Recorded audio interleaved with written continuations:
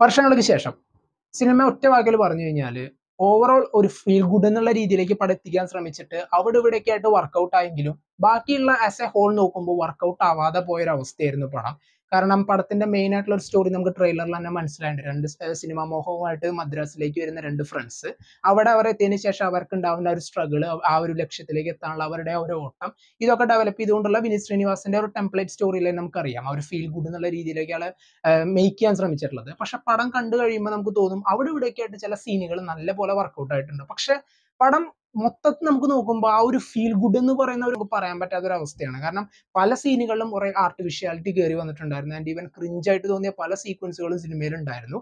സിനിമയുടെ പോസിറ്റീവിൽ ആദ്യം പറയേണ്ടത് ധ്യാൻ ശ്രീനിവാസന്റെ പെർഫോമൻസ് ആണ്. വേണു കൂത്തുപറമ്പ് എന്ന് പറയുന്ന ആ ഒരു ഡയറക്ടറുടെ ജേണി ആൾക്ക് എങ്ങനെയാണ് ഈ മുരളി എന്ന് പറയുന്ന മോഹൻലാലിന്റെ ക്യാരക്ടറിനെ മീറ്റ് ചെയ്യുന്നതും? അതിനുശേഷം അവർ മദ്രാസിലേക്ക് ചെന്നിട്ടുള്ള മദ്രാസിലേക്ക് ശരിക്കും പടം എത്തുമ്പോഴാണ് ഫസ്റ്റ് ഹാഫിലുള്ള ഒരു മൊമെന്റം പടത്തിന് കിട്ടിയത്. കാരണം അവരവിടെ എത്തിയ സ്വാമീസ് ലോഡ്ജിൽ താമസാക്കി. ഇവരുടെ സിനിമയിലേക്കുള്ള യാത്ര ഒരാൾ മ്യൂസിക്കിന്റെ സൈഡിലേക്ക് നോക്കുന്നു ഒരാൾ സിനിമ ഡയറക്ടർ ആവാനുള്ള ഒരു മോഹം തേടി നടക്കുന്നു.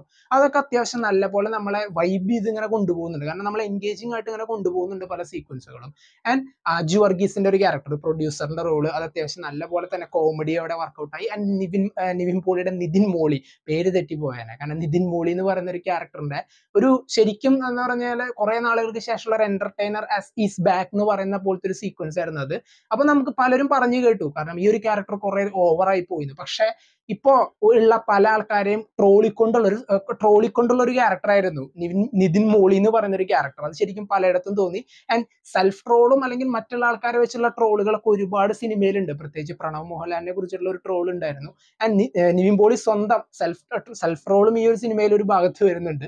അങ്ങനെ പിന്നെ റിവ്യൂസിനെ കുറിച്ചുള്ള ട്രോൾ അങ്ങനെ അങ്ങനെ അങ്ങനെ പല സീനുകളിലും സിനിമ റിലേറ്റഡ് ആയിട്ടുള്ള ഒരുപാട് കാര്യങ്ങൾ അവർ കൊണ്ടുവന്നിട്ടുണ്ട്. ആൻഡ് അതും. പിന്നെ ഇതിന്റെ മ്യൂസിക് ചെയ്തിട്ടുള്ളത് അമൃത് രാമാനന്ദാണ് ആൻഡ് ഈ മ്യൂസിക്കിലെ ഹമ്മിങ്ങുകളൊക്കെ നല്ലപോലെ അവിടെ ഫീൽ വന്നു. കാരണം ഈവൻ ട്രെയിലറിലുള്ള ആ ഒരു മ്യൂസിക്കുകളൊക്കെ അവിടെ ഇവിടെ ഉണ്ടായിരുന്നു. നല്ലപോലെ വർക്കൗട്ട് ആയിട്ടുണ്ട്. ആൻഡ് അങ്ങനെയുള്ള ക്യാരക്ടേഴ്സ് ഇപ്പോ ആ, ബാക്കിയുള്ള ക്യാരക്ടേഴ്സ് ഇപ്പൊ നമ്മൾ നോക്കുകയാണെങ്കിൽ വന്നു പോയ ഒരുപാട് പേരുണ്ട്. ബേസിന്റെ ഒരു ക്യാരക്ടർ പ്രദീപ് എന്ന് പറയുന്ന ഒരു ക്യാരക്ടർ അങ്ങനെയുള്ള അത്യാവശ്യം അങ്ങനെ ഒരു സെറ്റ് ഓഫ് ക്യാരക്ടേഴ്സ് ഒക്കെ നല്ലപോലെ അവിടെ വർക്കൗട്ട് ആയി.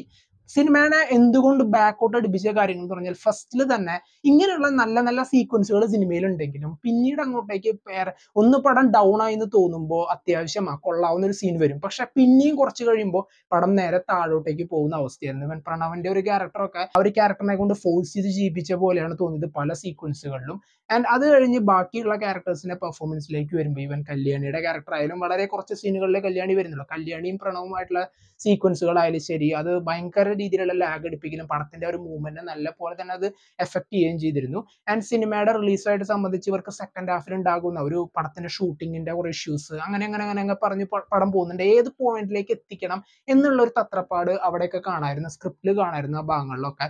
ഈവൻ ഈ സിനിമ റിലീസായിട്ട് തിയേറ്ററിൽ ഉണ്ടാവുന്ന കുറെ സീക്വൻസുകൾ ഉണ്ട് അതൊക്കെ ശരിക്കും കണ്ടപ്പോൾ എന്ത് ഇത് ഭയങ്കരമായിട്ട് ഒരു ആർട്ടിഫിഷ്യാലിറ്റി അവിടെ കയറി വന്നിരുന്നു. ഇങ്ങനെയുള്ള കുറെ സംഭവങ്ങളായിരുന്നു സിനിമയുടെ മൊത്തം ആ ഒരു ഫീൽ കളഞ്ഞത്. അറ്റ് എ ടൈം ഞാൻ പറഞ്ഞു നേരത്തെ അവിടെ ഇവിടെയൊക്കെ ആയിട്ട് നല്ല വർക്കൗട്ട് ആയിട്ടുള്ള സീനുകളും ഉണ്ട്.